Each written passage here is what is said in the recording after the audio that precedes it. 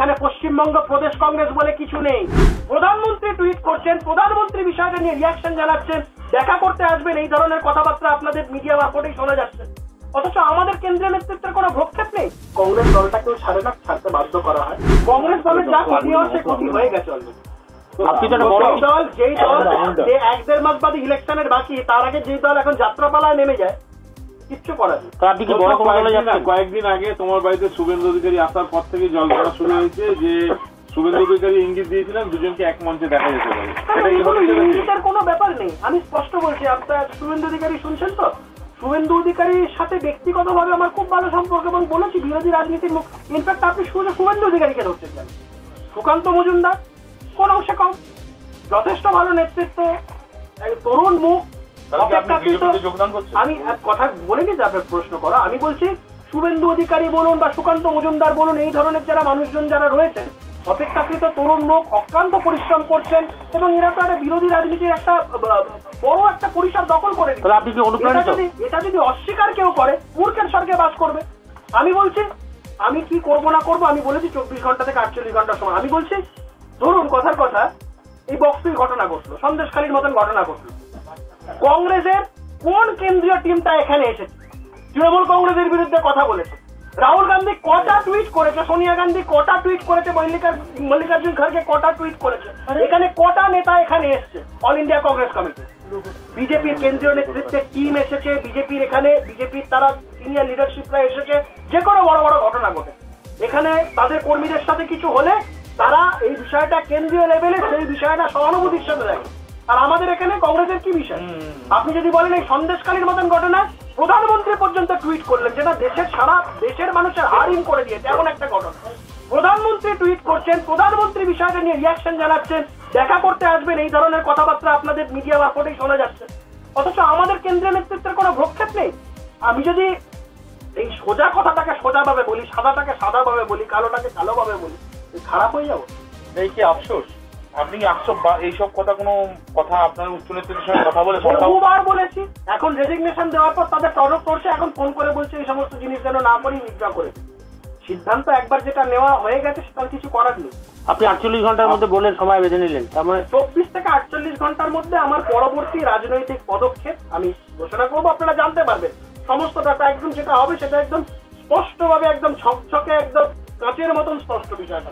যেদিন তৃণমূলের বিরোধিতা করার জন্য আমাকে মুখপাত্র পদ থেকে সরিয়ে দেওয়া হয়, আমি ছাড়লে সেদিনকে দল ছাড়তে পারতাম। মহাজাতি সদনে কংগ্রেসের, আমাদের ছাত্র পরিষদের অনুষ্ঠানে আমার সাথে দুর্ব্যবহার করা হয়, আমি দল ছাড়লে সেদিনকে ছাড়তে পারতাম। আমি দল ছাড়ার মানসিকতা নিয়ে রাজনীতি করিনি, আমার সাথে কংগ্রেসের দীর্ঘদিনের একটা সম্পর্ক, বিশ বছরের সম্পর্ক। আমার ধরুন যা বয়স তার থেকে মানে তেরো চোদ্দ বছর বয়স থেকে আমি রাজনীতি করা শুরু করি মানে কংগ্রেস দলকে আহ, দেখে রাজনীতি করা শুরু করি বাচ্চা বয়স থেকে। তো সেই জায়গায় দাঁড়িয়ে আমার এখানে সেই রকম কোনো অভিপ্রায় ছিল না। সম্পূর্ণ বিষয়গুলো আমি বারংবার চেয়েছিলাম দলের নেতৃত্বের কাছে বিষয়গুলো উত্থাপন করলে আমি ভেবেছিলাম বিষয়গুলো মিটে যাবে। কিন্তু নেতৃত্ব সেই জিনিসটা করতে চাইনি। যদি করতে চাইতো আমাকে সিদ্ধান্ত নিতে বাধ্য হতে হতো না।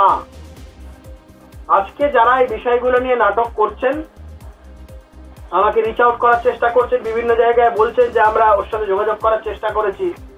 আমি স্পষ্টত একটা কথা বলে দিয়ে যেতে চাই, এই সকল নাটকের কোনো প্রয়োজন নেই। সিদ্ধান্ত একবার যেটা নিয়েছি, সেই সিদ্ধান্ত থেকে কোনোভাবে পিছপা হব না। দলের একটা বড় অংশ ইতিমধ্যেই কথাবার্তা বলা বলে শুরু করেছে, আমার কাছে খবর আসছে যে আমি নাকি দল ভাঙানোর চেষ্টা করছি বিভিন্ন জায়গা থেকে। আপনাদের মাধ্যমে স্পষ্টভাবে বলছি, আমি একটা লোককেও আমার সাথে আসার জন্য অনুরোধ করব না। যারা কংগ্রেস দলে আমার সাথে এতদিন ধরে যারা সতীর্থরা ছিল, যদি না কেউ স্বেচ্ছায় দলত্যাগ করতে চায় বা স্বেচ্ছায় আমার সাথে আসতে চায়, আমি কোনো মানুষজনকে আমি আমার সাথে নিয়ে আসব না। যতক্ষণ না কেউ স্বেচ্ছায় এই বিষয়টা বলবে, আমি চাই না যে আমাকে নিয়ে এই ধরনের কথাবার্তা উঠুক, যে আমি দলত্যাগ করেছি, দল ভাঙাচ্ছি, এই ধরনের আমি কোনো রকম মানে কালি নিজের গায়ে কোনোদিন রাজনৈতিক জীবনে লাগতে দিইনি, আগামী দিনও লাগতে দেবো। না তিন নম্বর কথা, অনেকে এই মুহূর্তে জল্পনা করছেন যে আমি কোথায় যাব, কি করব, না করব, আমার রাজনৈতিক ভবিষ্যৎ নিয়ে সবাই অনেকে চিন্তিত। সবাই প্রশ্ন করছেন, অনেকের একটা কৌতূহল আছে যে আমি কি করব, না করব। দেখুন, আমি একটা জিনিস স্পষ্টভাবে বলে দিতে চাই, সেটা হচ্ছে আমি যা কিছু করেছি, কখনো লুকিয়ে চুরিয়ে করিনি। আমি রেজিগনেশন লেটারটাও যেটা দিয়েছি, সেটা সাংবাদিক বন্ধুদের মাধ্যমে সবার কাছে বিষয় জানিয়ে সমস্তটা কিছু করে কোনো কিছু লুকিয়ে ছুঁয়ে আড়ালে আবদালে কোনো কিছু করার ব্যাপার নেই। আমি আপনাদের কথা দিয়ে যেতে পারি, চব্বিশ ঘণ্টা থেকে আটচল্লিশ ঘণ্টা। এই সময়ের মধ্যে আপনারা জানতে পারবেন আমার পরবর্তী সিদ্ধান্ত। আমি যে সিদ্ধান্ত এর আগে আমি বহু কথা টিভি চ্যানেলে বলেছি, সেগুলো রিপিট করছি না। তবে আমার আগামী সিদ্ধান্ত, আগামী চব্বিশ ঘণ্টা থেকে আটচল্লিশ ঘণ্টার মধ্যে সমস্তটা স্পষ্ট হয়ে যাবে। একটা জিনিস আমার যে লড়াই যে পণ যে প্রতিজ্ঞা সেই লড়াইয়ের জায়গাটা সেই লড়াইয়ের জায়গাটা যে প্ল্যাটফর্মে গেলে সেটা আরও শক্তিশালী হবে যে প্ল্যাটফর্মে গেলে আমার লড়াইটা আরও শক্তিশালী রূপে প্রকাশিত হবে এমন একটা প্ল্যাটফর্ম সেই প্ল্যাটফর্মই আমি খুব স্বাভাবিক কারণে চুজ করব এটাই স্বাভাবিক। এবং আমার এই চিন্তা ভাবনা বা এই রাজনৈতিক ভাবনা চিন্তার পেছনে একটা জিনিসই আছে সেটা হচ্ছে বাংলার একটা বড় অংশের মানুষ যারা এই সরকারের পতন চায় শুধু তাদের এই চিন্তা ভাবনার সম্মান রেখে আমার আগামী দেশে আপনি কি কারণে দল ছাড়তে বাধ্য হচ্ছেন আমি বলেছি আমি বলেছি সেটা হচ্ছে কংগ্রেস প্র্যাকটিক্যালি একটা সেলফ ডিস্ট্রাকটিভ মোডে চলে যায়। কংগ্রেস দেখুন এই যাত্রাপালা করে বেড়াচ্ছে এক দেড় মাস বাদে নির্বাচন। নির্বাচন জেতার কোনো আগ্রহ নেই।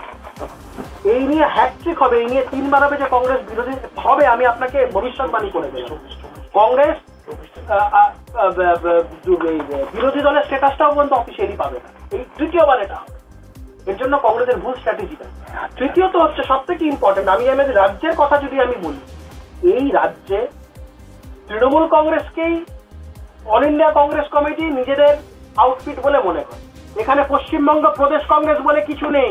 যেগুলো দেখছেন, সেগুলো কীভাবে কাঠপুতুলের মতন সাজিয়ে রাখার কয়েকটা জিনিস আছে। যারা শুধুমাত্র নিজেদের স্বার্থে এই বিষয়গুলোকে এ করে যাচ্ছে। এত লড়াই, এত সংগ্রাম করার পর যদি এখন আমাদের নতুন করে পুকুর নদী বুঝতে হয়, তাহলে তো খুব দুঃখের বিষয়। আমাদের ভিডিও ভালো লাগলে লাইক এবং শেয়ার করুন। কমেন্ট সেকশনে গিয়ে জানান আপনাদের মতামত। আরও ভিডিও পেতে আমাদের চ্যানেল সাবস্ক্রাইব করুন এবং প্রতি মুহূর্তে খবরের আপডেট পেতে প্রেস করুন বেল আইকন।